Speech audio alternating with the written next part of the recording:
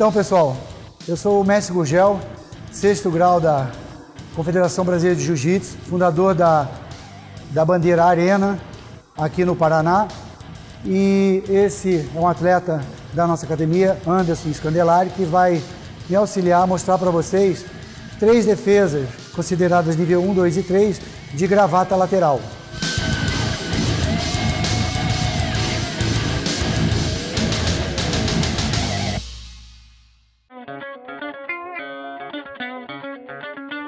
Bom, pessoal, essa primeira demonstração de defesa de gravata é considerada por mim nível de dificuldade número 1. Ela é uma gravata que é fechada e nós vamos sair dessa posição projetando o nosso adversário ao solo. Da seguinte forma, ele me pegou na gravata e fechou a pegada. Eu imediatamente, no meu primeiro reflexo, eu tenho que cair em base manter meu quadril firme, encaixado na coluna, aliviar a pressão do meu oponente, não deixar que ele leve o meu tronco para baixo e garanto a minha posição de defesa inicial aqui. Depois, faço uma pressão na região do queixo dele, certo? Na medida em que eu abaixo a minha base, venho com a minha mão em concha atrás da primeira perna dele e com o auxílio da minha barriga impulsionada pelo meu quadril, eu levanto e cravo ele no chão, na minha frente. Nesse momento, eu continuo com a pressão, passo a perna por cima da cabeça e vou para a chave de braço.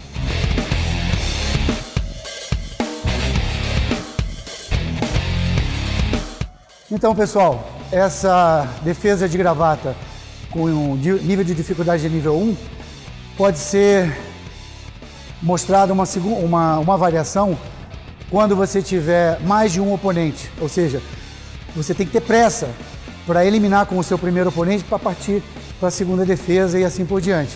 Então o que, que você vai fazer? Você é pego de surpresa na gravata, você cai em base, firma o quadril, alivia a pegada, faz a pressão na altura do nariz e do queixo, entra com a mão em concha, da mesma forma atrás da perna do seu adversário, impulsiona com o quadril e joga seu oponente com a costela em cima do seu joelho. Nisso ele vai sentir uma dor incrível, vai ficar nocauteado aqui no chão e você cai em base e vai para a sua segunda defesa se tiver mais de um oponente.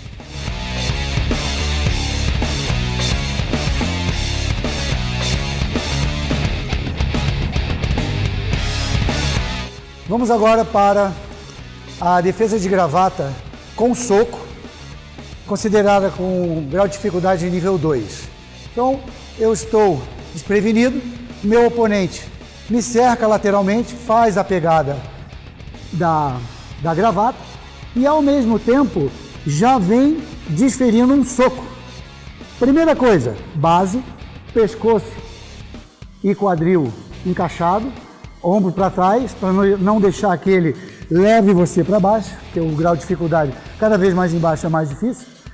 Nesse momento, na fração de segundo, quando você sentiu a pegada no seu pescoço e já veio com o soco direto, você vai, em vez de vir defendendo a mão, porque como a superfície da mão ela é pequena, pode, você pode errar o alvo. Você vai então na raiz do problema, ou seja, no começo do braço dele, no bíceps. Com o outro braço de trás, você abraça e domina aquele braço que ia te desferir o soco.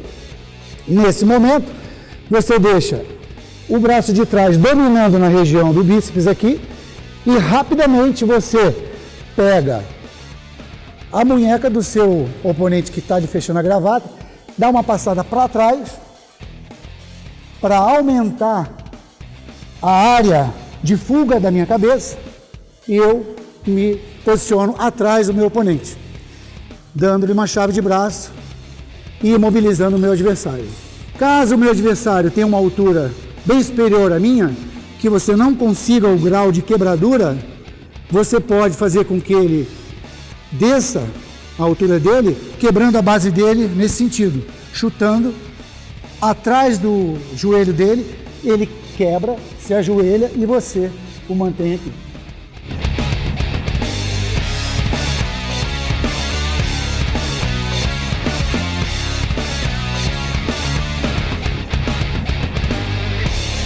Pessoal, essa defesa de gravata considerada com grau de, de dificuldade de nível 3 é quando você se distrai e no primeiro momento de reflexo você não consegue entrar em base para fazer as defesas mais fáceis em cima.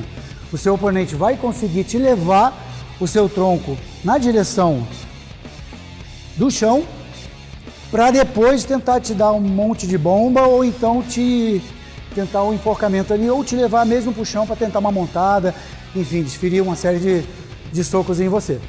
Nesse momento que você se distraiu, você foi levado ao, ao, ao nível inferior, você trava aqui, mantém a base, abraça a cintura do seu oponente, ele aqui na pressão não consegue te finalizar, a sua mão direita vai em concha atrás do joelho na perna de fora do seu adversário. E agora você dá uma passada com o pé entre as pernas dele e puxa ele para cima de você, fazendo uma, um sacrifício da sua posição, mas você vai fazer a montada da seguinte forma: entrei. Nesse momento que eu consegui derrubar meu oponente e cair por cima, faço a, a montada lateral e com a minha mão direita, nesse caso dessa posição, eu subo meu joelho para me dar uma melhor base e pressiono na região do nariz dele até que ele libere a pegada em volta do meu pescoço. Nesse momento ele estica o braço e eu passo a minha perna por cima da cabeça dele, deslizando até o polegar e fazendo a chave de braço conhecida por armlock.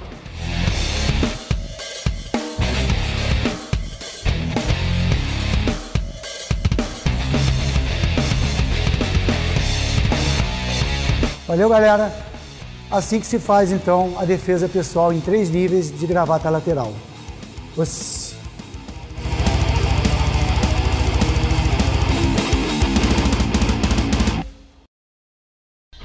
gostou? Clica aqui em gostou, faz o teu comentário e se quiser ver mais vídeos, clica aqui do lado.